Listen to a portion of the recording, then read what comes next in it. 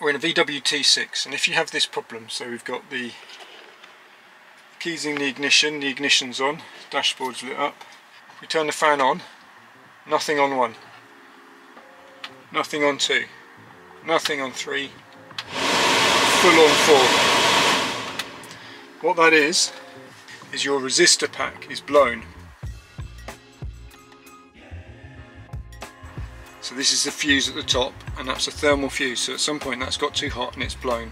And what I've done is I've bridged it.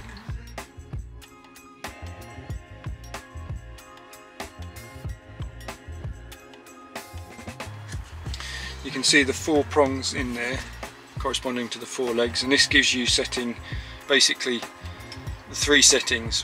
When the reason why it comes on on four is because it's by it's because it's bypassing this anyway. So when you would be on one two or three the settings would be reducing the amount of resistance through this pack to give you the different speeds of the fans. So it's really simple. Now this is located if we come down here underneath the dashboard. We've taken out the plate. There's the uh, electrical attachment. And this is located in here. But basically if I plug this in now and this is the old one which I've shorted so I've bypassed the fuse the thermal fuse on it now I don't know if you can hear that but that's blowing on one two it's blowing more three it's blowing more mystery solved now be careful, that is going to get very hot when it's been in use. And obviously this is live at the moment. So I'm going to turn off the ignition, we're going to remove this, and we're going to be fitting this new one. So I went down to CVS in Canterbury and John behind the parts desk was very helpful. And it turns out they actually, he, even he was surprised, but they actually had one in stock. Uh, so I didn't need to order a new one. It comes with two replacement uh, screws, bolts, and this is the new one on the left and the old one on the right. This is a 2018 van, so this is approximately five years old. Now I've already polished this back with a wire brush and a file um, yesterday, so this is actually looking a lot cleaner than it was, but you can see just how much corrosion was on it compared to the new one. And I think that's part of the problem. I think that these things just get very uh, corroded very quickly. Now it's probably partly to do with the fact that this thing, I mean this is 109, I think it's 192 degrees centigrade thermal fuse.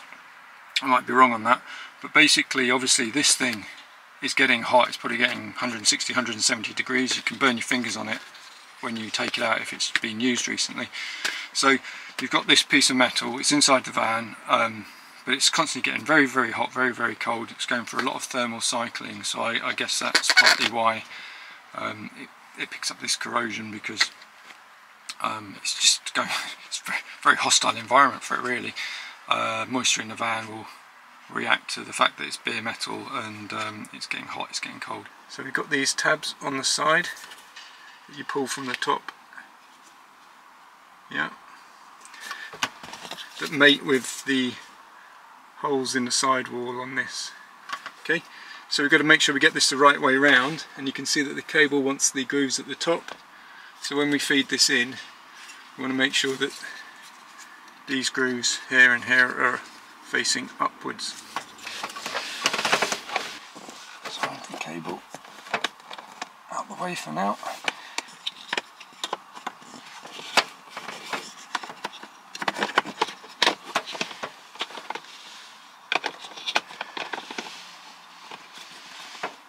Okay, so that's lined up.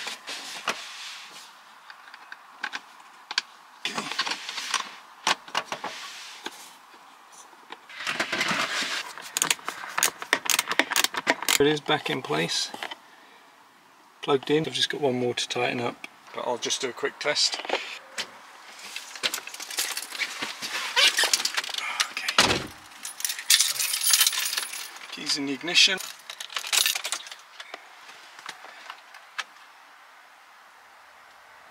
That's definitely blowing.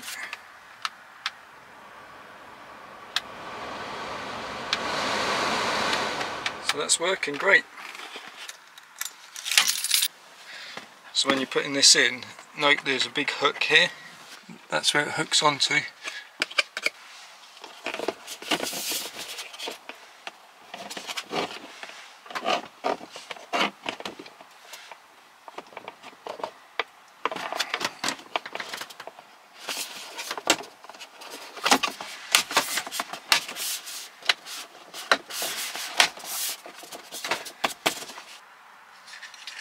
There's the part number. Um, it's not that part number by the way. The part number on the system is a different part number. I'll see if I can provide that.